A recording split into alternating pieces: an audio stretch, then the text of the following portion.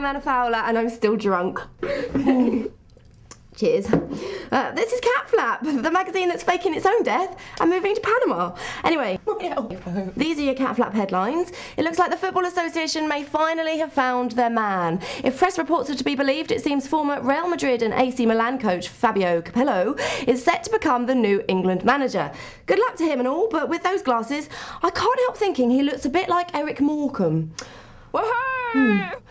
Well, what this means, of course, is that Jose Mourinho will not be the new English coach. Having met with the FA this week, the former Chelsea boss ruled himself out of the running, saying, After deep and serious thinking, I decided to exclude myself from being England manager, despite a fantastic position for me.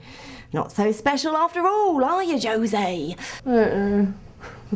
Finally, a former Liverpool winger and strictly come dancing twinkle toes, John Barnes, has landed the job of part time scout for Sunderland.